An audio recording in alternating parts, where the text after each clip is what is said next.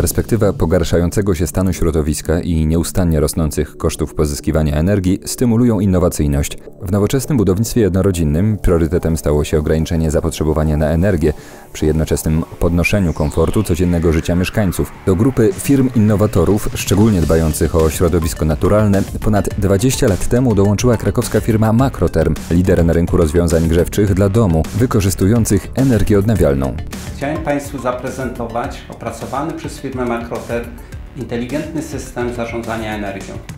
Makroterm przedstawia moduł Integrator, zintegrowany system ogrzewania i chłodzenia domu, wykorzystujący energię słoneczną z kolektorów, energię ze spalania biomasy w połączeniu z pompą ciepła lub konwencjonalnym kotłem grzewczym. System firmy Makroterm zapewnia standaryzowany szybki montaż, niskie koszta eksploatacji i optymalną pracę całej instalacji. Połączenie w jeden system rozproszonych źródeł energii w gospodarstwach domowych Pozwala na oszczędność energii, podnosi komfort użytkowania domu oraz bezpieczeństwo energetyczne dzięki dywersyfikacji źródeł ciepła.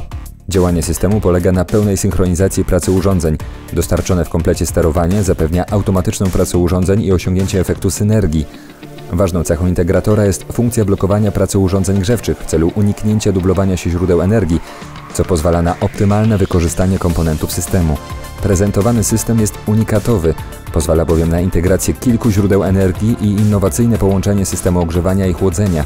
Podnosi to komfort użytkowania oraz ogranicza koszty eksploatacji. Duże znaczenie ma także pozytywny efekt dla środowiska naturalnego, jaki daje wykorzystanie energii ze źródeł odnawialnych.